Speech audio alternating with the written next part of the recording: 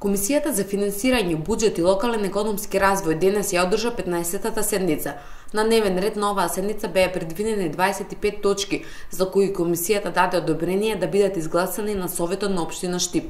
Покрај обемниот дневен ред бевме ефикасни и конструктивни и а, ги стрпивме точките како што се барањето за финансиска помош